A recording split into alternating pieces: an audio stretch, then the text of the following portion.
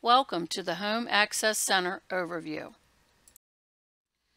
Home Access Center is an online portal that allows parent guardians and students to log in and view information pertaining to the student's progress. From a web browser, parent guardians and students will access Home Access Center using this web address. Students will log in using their HCPS network credentials. Parent guardians will log in using an HCPS issued username and password. The parent guardian's login forces a password change on first use and the setup of three challenge questions for a password reset. On the home page, the Home Access Center banner provides quick access to HAC's main pages. Menu options in the banner include Home, Attendance, Classes, grades, and registration. The default view is Week View, which displays the selected week's view of student attendance, schedule, and assignment information, as well as published activities and events.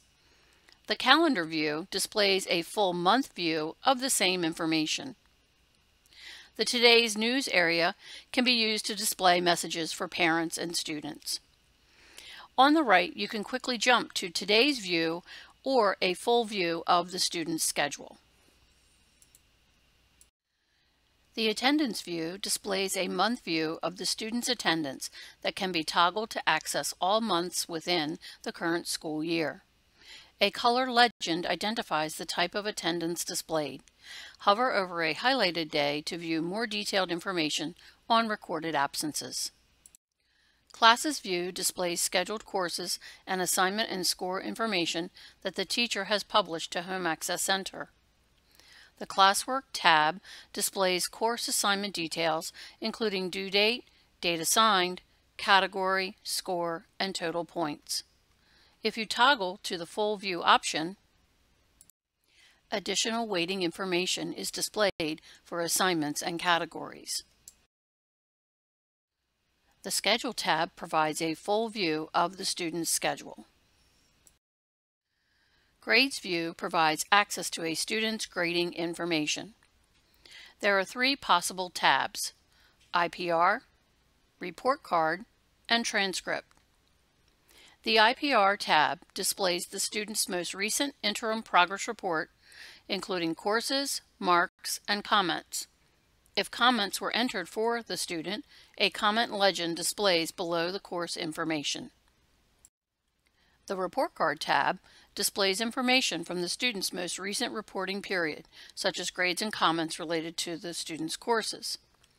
Additional information may include earned course credits, class rank, and current and cumulative credits and GPA. If comments were entered for the student, a comment legend appears below the report card information. The Transcript tab displays a summary of the student's transcript information, including course and grade history, total credits, weighted and unweighted GPA, and class rank information. The registration view displays basic student demographic information. In addition, transportation to and from school and contact addresses and phone numbers can be viewed. The My Account link can be accessed by clicking on the parent guardian name in the upper right corner of the window. Here they can self-manage their HAC password and maintain the challenge questions used for the password self-reset process.